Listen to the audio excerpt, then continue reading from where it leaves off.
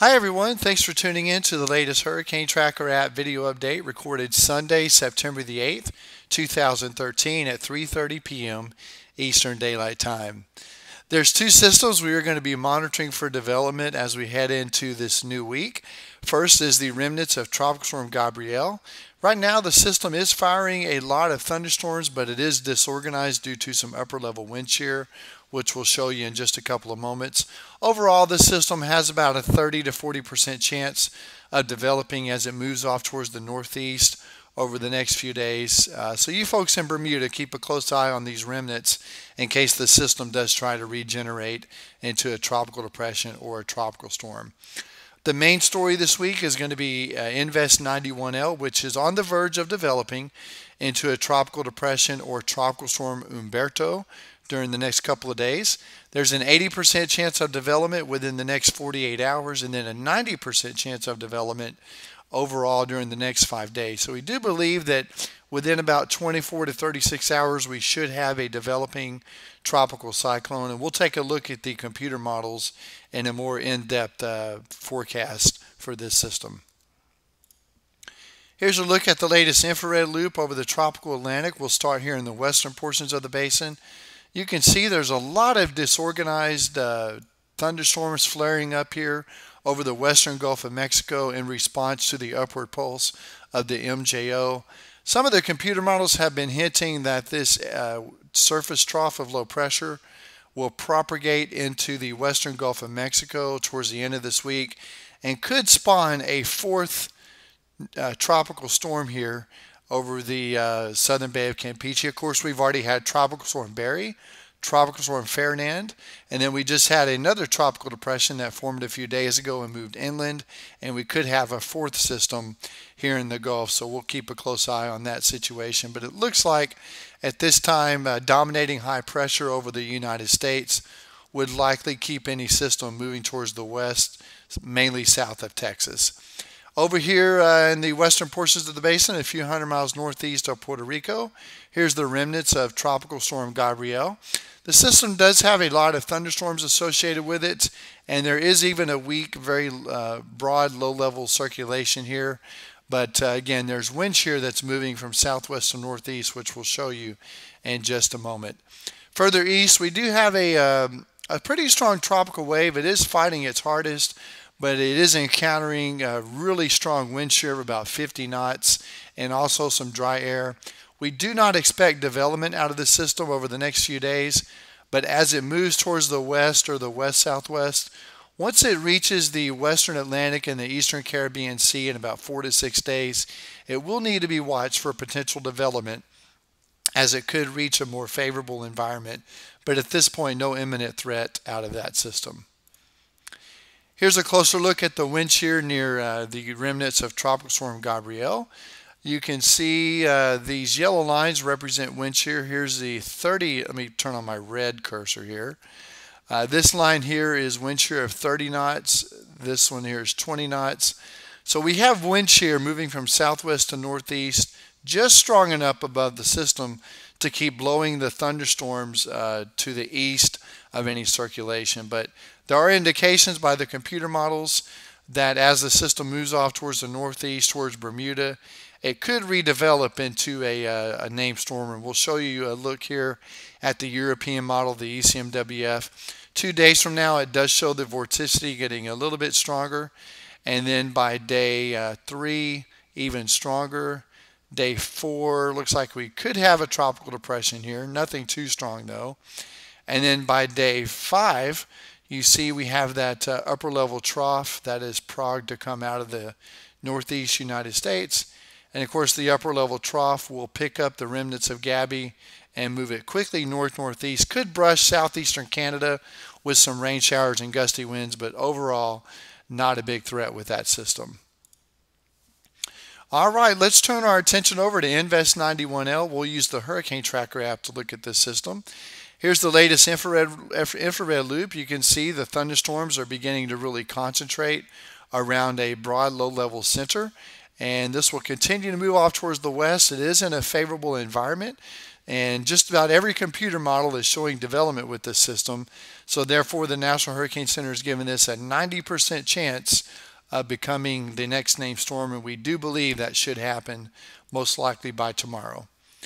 At this time, the computer models show the system moving off towards the west and then in a, about two to three days, possibly strengthening into a hurricane here west of the Cape Verde Islands and normally, when a system uh, starts gaining in intensity and getting stronger, the systems tend to move more northward, more poleward. And so, with time, we do expect to see this system uh, move northeast here over the cooler waters of the open Atlantic. There's also some wind shear out here.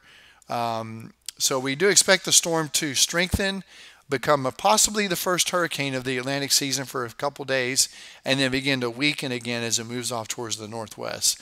Now, as far as the longer term, uh, we'll take a quick look at that uh, by the see what the European model showing.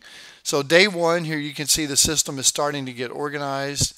By day three, it looks like we have a system that could uh, be a very strong tropical storm, if not on the verge of a hurricane uh, let's see, by day four and five, we see the system getting a little bit stronger and then beginning to weaken as it encounters those cooler waters.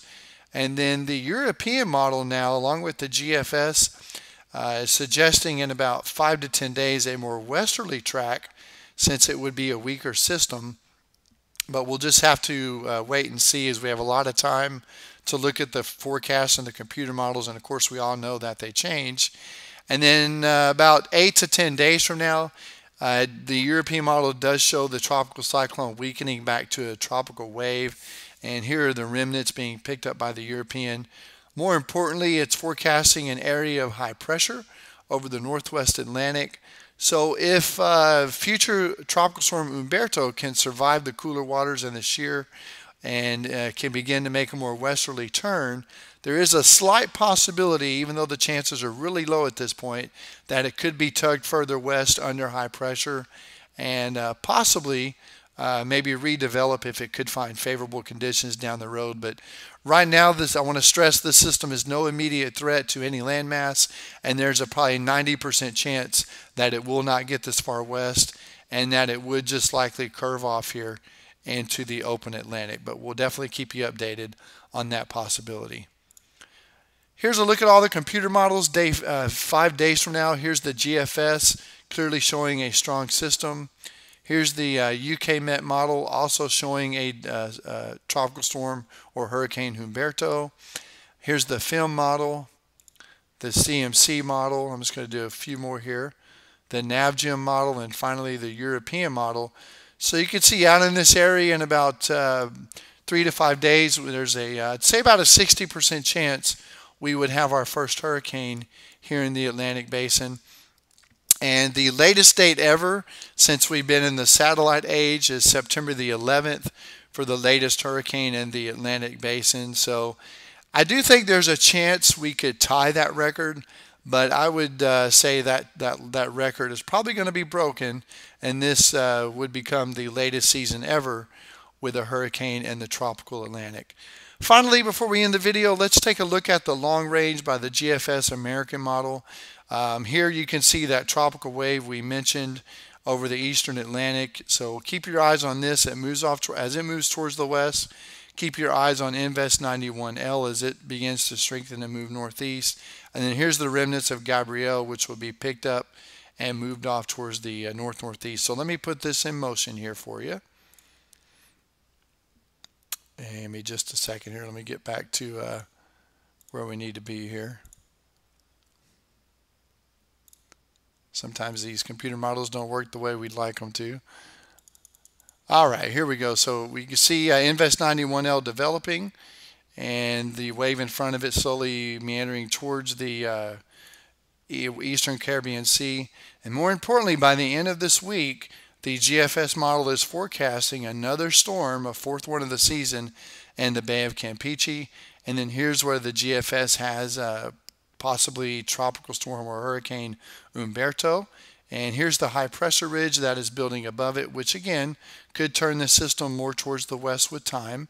And let me go a few more frames here in the future. See the westerly turn now? And then really, really long range, it shows the high pressure breaking down and the, the GFS is taking it towards the northeast. And remember, the European model was taking it more west. So I think it would be foolish to totally write off this system because we have had uh, computer models over the last several weeks showing uh, very strong tropical waves out here that were supposed to develop and move off towards the north northwest, and they did it. If these systems, the the, the chance of these systems staying uh, weaker and going further west uh, may actually be higher than previously thought because of the way this season has shaped out and, and, turned out to be so far in regards to the dry air in this year. So the further west these systems could get, uh, the more chance they could have of hanging around and possibly redeveloping here in the western Atlantic basin. So once again, we're not going to completely write off Invest 91L as it's not even a storm yet. It still has a long way to go before its uh, final future is determined, but we'll keep a lookout for it. Finally, uh, not showing on this map, but a lot of the uh, ensemble members have been hinting at lowering pressures here across portions of the Gulf, Northwest Caribbean Sea, and the Western Atlantic over the next couple of weeks. So this may become a prime area for development as we get in towards the middle of this month. Thank you so much for tuning in today and watching our uh, Hurricane Tracker app video update. If you don't have the Hurricane Tracker app and you would like access to all this information, please take a look at the details at www.hurrtracker.com. Thanks so much for tuning in. We'll be back with another video update likely tomorrow afternoon. Thanks for watching. Have a great day.